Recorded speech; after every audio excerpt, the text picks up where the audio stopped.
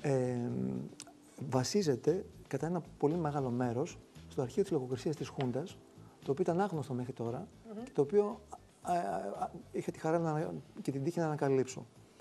Οπότε η ταινία ε, πε- περιλαμβάνει ε, αποσπάσματα ε, α- από τις λογοκριμένες ή τις απαγορευμένες ταινίες, τις εκθέσεις των λογοκριτών με το σκεπτικό τους που καμιά φορά ξεπερνά κάθε φαντασία, ε, επίκαιρα της εποχής και βεβαίως τα ίδια, τα, τα, τις ίδιες λογοκριμένες σκηνές ή απαγορευμένες σκηνές τις οποίες ανακάλυψα μέσα σε κάτι κουτιά μισο, ξέρετε, μισοκατεστραμμένα- μισοκατεστραμμένα. Βλέπουμε το μεταξύ πλάνα από το ντοκιμαντέρ. Θέλετε να μου πείτε ένα κραυγαλαίο παράδειγμα λογοκρισίας που, κατά τη γνώμη σας, δεν θεωρείται ιδιαίτερα σημαντικό και δεν θα έπρεπε να λογοκριθεί; Κοιτάξτε, το, το, το πάρα πολύ ενδιαφέρον και αυτό που πραγματικά με εξέπληξε ήταν ότι οι ταινίες που λογοκρίθηκαν ή απαγορεύτηκαν κάλυ- κάλυπταν με τεράστια γκάμα. Δεν ήταν μόνο οι πολιτικές ή κοινωνικές ταινίες, ήταν και πολλές εμπορικές ταινίες. Όπως... Παραδείγματος χάρη, ε, από τον ελληνικό κινηματογράφο απαγορεύονται ταινίες όπως η Ευδοκία του Αλέξη Δαμιανού και, ή το πρόσωπο με πρόσωπο του Γαβρίλου Μανθούλη ή ας πούμε συγχρόνως η Βοσκή της Συμφορά του Νίκο Παπατάκη, αλλά συγχρόνως λογοκρίνεται και η κόρη μου σοσιαλίστρια, ας πούμε, ή ο Παπατρέχας, παραδείγματος χάρη. Και εμπορικές ταινίες που απευθύνονται σε ένα ευρύ, ευρύ κοινό. Υπεράνω πάσης υποψία υπό άλλε συνθήκες. Ακριβώς, ακριβώς. Και το ίδιο συμβαίνει και με πολλές ξένες ταινίες. Επίσης, δηλαδή υπάρχουν ε, επίκαιρα αγγλικά και αμερικανικά επίκαιρα, γαλλικά και αμερικανικά επίκαιρα που λογοκρίνω- που λογοκρίνονται. Υπάρχουν ταινίες του Μπουνιουέλ, του μεγάλων σκηνοθετών, του Μπέρκμαν, του Γκοντάρ. Και ταυτόχρονα υπάρχει μια σκηνή από, ας πούμε, από το χωροφύλακα του Σεντροπέ με τον Λουίντι Φινές ταυτόχρονα. Δεν υπήρχε λογική με λίγα λόγια. Κοιτάξτε, είναι πραγματικά η λογική ξεπερνά κάθε φαντασία.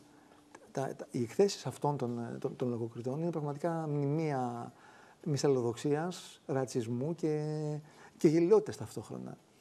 Ε, ο, οτιδήποτε, οτιδήποτε ξεπερνούσε τη δική τους αντίληψη για την, για την ηθική και την αισθητική ε, έ- έπρεπε να κοπεί αυτομάτως. Τι χαρακτηρισμούς βρήκατε γραμμένους μέσα σε αυτές τις εκθέσεις ε, Ναι. για το ελληνικό φρόνημα, ας πούμε; Ναι, φυσικά. Ότι, φυσικά ότι, ότι οι ταινίες οι οποίες προσβάλλουν τα ήθη και τα έθιμα του ελληνικού λαού. Θα ήθελε και τα έθιμα η κόρη μου η σοσιαλίστρια. Ναι, βέ- βέβαια. Ή, ας πούμε, ή παραδείγματος χάρη δυσφημούν τη χώρα στο εξωτερικό. Ή υπάρχουν τολμηρές σκηνές. Υπάρχουν πολιτικές αναφορές. Υπάρχουν κάποια ονόματα που, που επίσης ήταν απαγορευμένα εκείνη την εποχή και έπρεπε να κοπούν. Ε, υπάρχει με τεράστια γκάμα. Αλλά αυτό που πραγματικά εκπλήσει καμιά φορά είναι ότι υπάρχουν και ταινίες που εκτός από, από όλους τους λόγους που προανέφερα και που, εν πάση περιπτώσει, θα μπορούσε να φανταστεί κανείς, υπάρχουν και ταινίες που κόβονται για λόγους αισθητικής. Α πούμε, και που εκεί πραγματικά αυτό είναι ξεπερνά κάθε φαντασία. Παραδείγματος χάρη, υπάρχει μια ταινία, το, το Λόγο Λιβιδάδο του Λουί Μπουνιέλ, κόβεται με την αιτιολογία ότι δεν έχει καμία καλλιτεχνική αξία. Η ταινία είχε εμπορευτεί στι Κάνινε εκείνη την εποχή.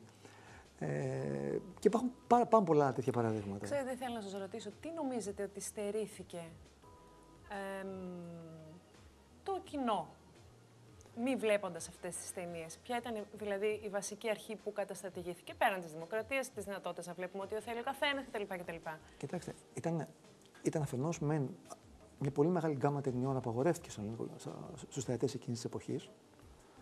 Ε, από την άλλη μεριά και, και στους Έλληνες σκηνοθέτες απαγορεύτηκε να κάνουν ταινίες. Βέβαια, αυτό οδήγησε πολλές φορές στο να επι- στο να επιστρατεύσουν οι σκη- οι Έλληνες σκηνοθέτες άλλους τρόπους για να ξεπεράσουν τα εμπόδια, ευρηματικούς τρόπους δηλαδή για να ξεπεράσουν τα εμπόδια που έθετε η λογοκρισία εκείνη τη φορά, ε, κάθε φορά.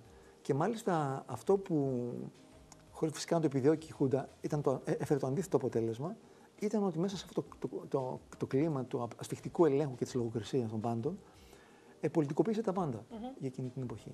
Και αυτό Φυσικά. φάνηκε φυσικά αμέσως μετά την ε, πτώση της Χούντας. Μμμ, Μάλιστα.